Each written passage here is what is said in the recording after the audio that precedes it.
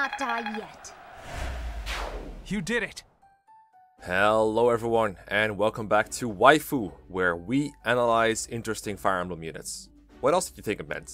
In this series, I take a close look at units that are getting underrated or overrated by Fire Emblem players. So, if there's another unit you'd like me to take a look at, post them down below in the comments. And while you're there, don't forget to recruit the like button by turning it blue. Today, we are featuring Lysithea, the orbital nuke from Fire Emblem Three Houses. I remember the first time I played through Three Houses, I actually picked the Golden Deer and I had a lot of fun dealing heavy, heavy damage with Lysithea. One of the most satisfying moments was definitely realizing that the Death Knight could be killed by her Dark Spike spell. Even more fun was had when I completed the Lorenz Paralogue and obtained a Thycerus, which turned Lysithea from a 1-2 range nuke into a 1-4 range nuke. That was great news for me, but bad news for enemies all around. She also learns the incredibly useful Warp spell, which I used to skip an entire chapter of the Let's Play just for the heck of it. As the game went on, Lysithea proved to be a powerhouse over and over again, at some points capable of killing enemies in one hit. But as I played, I also took note of some of her weak points. She has very low mobility and she tanks hits like a wet paper towel. Lysithea is clearly a glass cannon, and in the past, the Fire Emblem fandom has gotten really attached to some of these, to the point where people overhype them quite a lot. Think of units like FE6 Lilina, FE7 Nino, and FE8 Lute. Female mages with high magic power, but low durability. All these units have had times where they were considered really good, only for them to end up in the lower segments of a tier list later on. So, did Lysithea continue this trend of overrated female mages, or is she as good as fans say she is? What I'm going to do in this analysis is talk about how Lysithea does throughout the game, from start to finish, to see just how good she is. I'm going to talk about her base stats, her growth rates, her strengths, her weaknesses, budding talents, crests, her spell list, and of course the relic of House Gloucester, the Thycerus. Thyrsus? Thyrsus. Thyrsus? Thyrsus. Thyrsus? Thesaurus? God, this is impossible, man. And last but not least, this kind of analysis is incomplete without also looking at her promotion path, because if there's one thing people love to debate about her, it's what her final class should be, and she has a ton of options in that regard. But before everything else, let's start at the beginning. Lysithea is a member of the Golden Deer House, and joins with these base stats. We can see right off the bat that her biggest selling point is her 11 magic. It's right up there with all the other magically inclined students. Other than that, her bases are actually pretty bad, particularly her HP and defense. On hard mode, she will usually survive a single round of combat, but in maddening, she's one of those characters you have to protect at all times in the early game, or she will just roll over and make you reach for that Divine Pulse button. And during the first month, you don't even have access to that. And her growth rates don't project a huge change to her stat layout either. She has the most lopsided growths in the game. Only 20 HP, 15 strength, 15 luck, 10 defense, but then she also has 60 magic, 60 dexterity and 50 speed. It's easy to see Lysithea is a character who wants to hit hard on player phase but never wants to take a blow in return. This is usually easy to do because she can attack from both 1 range and 2 range, so most enemies will not be able to counterattack. So she's very useful for setting up kills for other player units. A couple of other things deserve to be highlighted here. That speed growth of hers is really good, but also a bit deceptive because her attack speed is being offset by the weight of her tomes. This means that depending on the difficulty, Lysithea may never be able to double reliably, and instead relies on one-hit KOs to get rid of an enemy in one round. Lysithea also has some very low charm, which means she's gonna have trouble connecting offensive gambits against most enemies that aren't demonic beasts, since gambit hit rates depend on the gap between her charm and that of the enemy. She's likely better off using supportive gambits such as Stride that are guaranteed to work. I generally don't find magical gambits to be that useful anyway since they are limited to only one use per map, although they do have a wide area of effect and you can use them from 2 range. Speaking of limited options, it is also worth noting that at base level the only spell Lysithea knows is Miasma. There's nothing wrong with that, other than the fact that it only has 5 uses, so she might run out before the battle is over. As the game goes on, she will learn more spells and get more charges, so this will only be an issue in the very early game. She also has slight hit rate issues early in the game, but that will get better within a few chapters with the help of supports and battalions. And that's base level Lysithea for you. She does some really strong chip damage, is generally able to set up kills for other units, but she needs to be kept away from enemy fire almost all the time due to being so frail. And that's the easy part of analyzing. Now, what I usually do for characters in other games is I take a look at their stat averages, I see how they perform against your average enemy, I see if they double attack and if they do enough damage to kill, and how many hits they can take. And once I've done one such snapshot, I'd move on to the next sensible moment, usually after something significant changes about a character, such as a promotion or the availability of a new weapon. But the problem in Three Houses is that such a thing is immensely more complicated to do, since there are way more variables than in previous games, to the point where it's impossible to take into account. This is why it's taken me a while to do a detailed Three Houses analysis in the first place. Measuring a unit's performance is much harder. Initially, I was going to explain in detail why this was so hard to do, but as it turns out, it made the video way longer than it needed to be, and I really just want to spend time talking about Lysithea instead. So I did that explanation in another video, and I will do a brief sum up here. There are way, way, way more variables in this game compared to other games. The huge amount of customization and player choice makes it impossible to say this unit performs roughly this well against enemies in this particular chapter. In this game, that's just not a thing, and anyone pretending that it is probably just uses their personal experience and states it as a fact. Between variable class paths, skill setups, combat arts, battalions, a really huge variety in enemy stats, especially speed, gardening stat boosters, equipable items, various recruitment times, and not to mention three proper difficulty levels each with the option of New Game or New Game Plus, I just can't take all these possibilities into account. I'm gonna attempt to sort of take the average of all this. It's not that units turn into a completely different beast if I just change one variable, like Lysithea is not gonna turn into a physical tank, but let's just say your mileage may vary.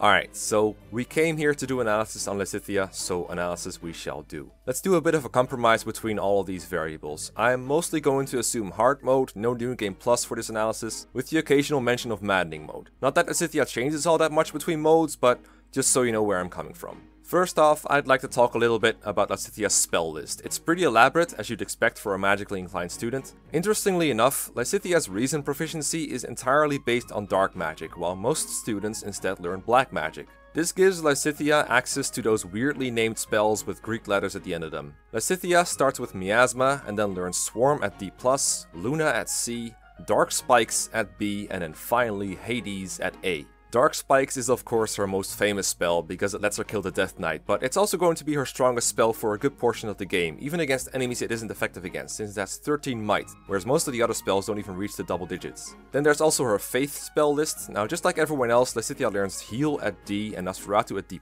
but from there she goes off the beaten path. At C level she picks up Seraphim, which is effective against demonic beasts, pretty nice, but the real fun begins at the Warp spell at B rank. Now, this is the part of Lysithea that really sets her apart from most other magic users in my opinion. It lets you transport another unit across the map. The amount of tiles she can move someone is equal to her magic divided by 4, counting from the tile that Lysithea is on. That opens the door for all sorts of fun strategies, the most well known of course being sending a strong unit straight to the boss of a kill boss map to end it in one turn. But it's also a good way to increase the mobility of other units in general, and especially nice if you run into an emergency where you need more help on one side of the map than you initially thought. Warp is very versatile, and I often like to say that even though Lysithea herself isn't very mobile, the option to increase other unit mobility the way she does is more valuable than just having a couple of extra movement points on her. She also learns Abraxas at A rank, which is another really powerful spell you could pick up if you want to cast some offensive Faith magic, but there's no real advantage to using Faith magic over Dark magic for her, so it's up to you whether you want it. Now, let's talk about classes. I think almost every sane person will agree that Lysithea is best off staying on the magical side of things, which means that at level 5 you will turn her into a monk. Not much of a choice there. You'll want to max out her class mastery before promoting to the next stage, since you will obtain the magic plus 2 skill and a drawback combat art. The former will make it easier to get 1 KOs with her, which is very important since as I said, Lysithea has doubling issues, while the latter is just a really nice positioning skill that can increase the mobility of both Lysithea and your other units. At this point in the game, tutoring wise, I think your first priority with Lysithea is to raise her faith rank from E plus to D, so she learns heal. Having an extra healer on your squad is really nice, especially since early on your uses are very limited. From there, you'll want to focus on Reason to learn some additional spells, such as the ever useful Swarm to debuff enemy speed, and after that, it's usually nice to raise up her authority from E plus to D to gain access to magical battalions. Lysithea is actually very talented in all three of Reason, Faith, and Authority, so this should go very smoothly. Now, some players would advocate going all in on Lysithea's Reason magic in order to learn Dark Spikes as soon as possible, so that she can kill the Death Knight in Chapter 4. While it is nice to get him out of the way in maddening mode since he moves towards you if you're in his range, you can definitely beat that map while staying out of his area. In the easier difficulties, doing this is mostly just for style points and memes. I mean, not that there's anything wrong with that, of course. Well, and it gets you the Dark Seal if you want that.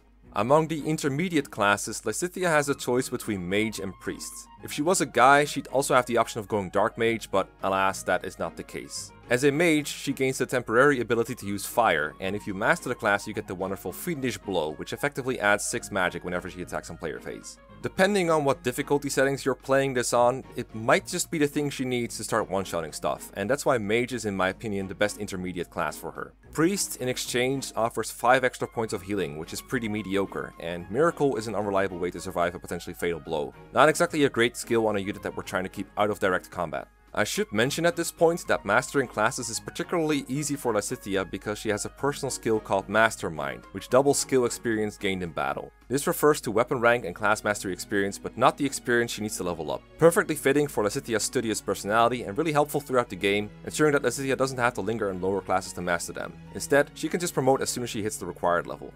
Now, so far, I think these choices have been pretty uncontroversial. Where things usually get heated is Lysithea's next steps. In the advanced section, we have once again two magical classes she can pick, Warlock and Bishop. Warlock offers Black Tomefaire, Black Magic uses times 2, and if mastered, Bowbreaker, while Bishop grants White Magic uses times 2, White Magic Heal plus 10, Terrain Resistance, and if mastered, Renewal. Warlock is almost completely useless for Lysithea since she cannot use any black magic. The only point of it is to learn Bowbreaker, which could help her against enemy bow wielders, though depending on her stats and the difficulty, you might not want to expose her against any to begin with. This is why I prefer Bishop, which can actually be a decent final class for Lysithea, as all of its traits are occasionally useful, except for Renewal probably. Renewal is pretty bad on a glass cannon. Now, one thing that really annoyed me when using Lysithea and other magic users in this game is the utter lack of movement on them. Up until now, they have 4 movement, which makes it hard to keep up even with most foot units, and you can just forget about keeping pace with the flyers. This also makes her lack of physic in her spell list extra painful, since you will have trouble reaching your other units for healing unless you hold them back. This is an important point to keep in mind when picking between Lysithea's master classes, Gremory, Dark Knight, and of course the Meme Lord itself, Mortal Savant. Gremory is what I went with on my first playthrough, and it is the most straightforward continuation of what we've been doing with Lysithea so far. It doesn't require any additional weapon ranks, as Lysithea probably has been leveling up well enough in both Reason and Faith to comfortably make it through the exam by the time she is level 30. Now, Gremory doesn't have any of the fair skills for that juicy plus 5 damage bonus, but it partially compensates through giving plus 5 magic upon class changing, whereas the two alternatives I just mentioned only give plus 2. Gremory has the worst movement out of all these three master classes, only 5, but at least it's still better than a Bishop's 4. Gremory's biggest advantage is probably the class skills that double your spell uses. Once again, black magic uses times 2 is actually completely useless since Lysithea doesn't learn any black magic, but the dark one doubles her number of all her good defensive spells, including dark spikes, and the increase in white magic uses is great for giving her 2 warp uses instead of 1.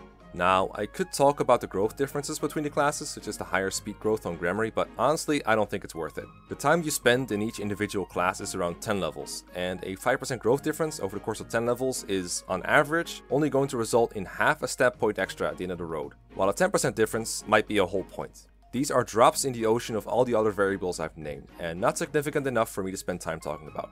Class change bonuses on the other hand, they're a bit more significant, but honestly, unless the difference is massive, they're not worth breaking your head over either. Skills, movement, and the required weapon ranks are a much more important factor, so let's get back to those. Let's take a look at Dark Knight.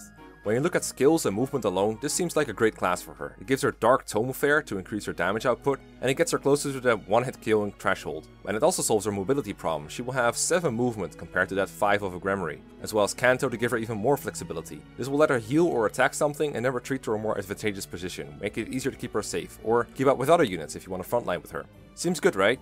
Unfortunately, there is a big drawback to this class, and that's the weapon ranks. In order to make it through the exams of the Dark Knight, she's going to have to train a lot in lances and riding. This is pretty tough on Lysithea, since she has a Bane in lances and she never really has a chance to practice with either of them in battle. She doesn't want to go into a riding class until Dark Knight, and she definitely doesn't want to use lances. This means we cannot take advantage of Mastermind or the Knowledge Gem to learn these faster, which really sucks. The game lists C lances and A riding to make it through the exam, but you can pass it with lower levels than that with some save scumming. It takes a conscious effort though, and any activity points you spend on teaching Lysithea is time you cannot spend teaching other students. As for whether it's worth it, I haven't tried it myself. I do know that in some chapters, having a horse doesn't help you very much because the terrain ends up slowing them down a lot. So you'll have to dismount or reclass in order to avoid all the movement penalties. And if you have to do that, then you're really not getting much of a benefit from all the work you put in. Sure, dismounted Dark Knight still has 6 movement, but that's only 1 up from the 5 of Gremory. The last class we need to talk about is Mortal Savant, the meme class. At first glance, this class looked like a happy medium between Dark Knight and Gremory. You get the same speed as both of those, but you still get 6 movement instead of Gremory's 5, and you get the fair skills, so you'll do more damage, right? Except once again, this class gives you the wrong fair skill. She gets Black Tomefaire, and as I said before, she uses Dark Magic, not Black Magic. And Swordfaire, of course, is completely useless on Lysithea when she's just casting spells. Unless, of course, we make use of her budding talent in swords. Normally, Lysithea has a Bane in Swords, but if you tutor her a total of 12 times in Swords, that will turn into a boon, and then she'll gain the Soul Blade combat art. Soul Blade works much better with her than a normal sword attack, as it is a magic based attack with might that increases based on her resistance. From my experiments, this lets her do more damage than just by using spells, but of course the drawback of relying on the combat art is that it can only be used at one range and it can never double, so now she absolutely needs to get the one shot. She usually seems to be able to do it, so if this is what you need to get that one round KO, it might be worth. You can give her a relic like the Blutgang or the Thunderbrand, and since she has crests, she won't take damage from using them, but a strong forged sword can also be good enough. Now, if you want to be a mortal savant with Lysithea, you need a high rank in swords. The game suggests A, but once again, lower can work. However, let's keep in mind Soul Blade is not locked to Mortal Savant. Mortal Savant is just the best at maximizing the damage with it. When using spells though, Mortal Savant is weaker than Gremory due to lack of a relevant flare and the lower magic. And I personally prefer Lysithea to take advantage of her range. I think that'll usually be more helpful than a damage boost, but once again, your mileage may vary. If it wasn't clear already, I think Lysithea is best off sticking to Gremory. It gives her the opportunity to focus on her specialties, reason and faith magic, and instead of having to train in random other ranks like riding, lances and swords, you can instead give her authority to get better battalions such as the Macuil Evil Repelling Corps, which gives her a massive plus 7 magic and plus 30 hit when it's at max level. Sure, Gremory might have the lowest movement of all these classes, but taking into account how often horses get nerfed in this game, the difference isn't that big. And instead, she gets an extra warp use, which can be used to make other units more mobile. If you want to use Soul Blade, nothing is stopping you from unlocking her hidden talent, and it can be pretty good if you're willing to get up close and personal with your enemies. Now, there is one last thing I need to talk about with Lysithea, and that is the Thyrsus, a staff that increases the range of your magic by 2. The Thyrsus is the relic of House Gloucester, and for that reason, a lot of people consider it to be property of either Lysithea or Lorenz, since they both have the crest of Gloucester. However, it's worth noting that literally anyone can use the thing. People that don't have a crest will take 10 damage every turn they have it equipped though, and those with the Gloucester crest get an extra bonus, a somewhat hidden Pavai's Aegis skill, similar to the shield that Felix often uses.